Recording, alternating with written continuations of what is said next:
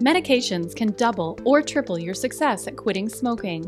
Nicotine replacement therapy, NRT, is an over the counter medication that can help you quit or reduce smoking or vaping. NRT gives your body nicotine without exposing it to the over 7,000 chemicals found in cigarette smoke. It helps you reduce withdrawal symptoms such as cravings to smoke, anxiety, headaches, and difficulty concentrating. There are several types of NRT. Which one is right for you? Gum. This is an over the counter medication, so no prescription is needed. To use this, chew gum slowly until you can taste the nicotine or feel a tingling sensation in your mouth. Stop chewing and park the piece of NRT gum between your cheek and gums.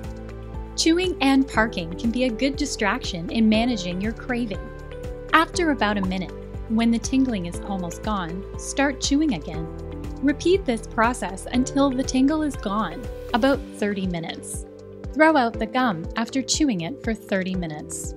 The gum is available in two strengths 2 milligrams or 4 milligrams.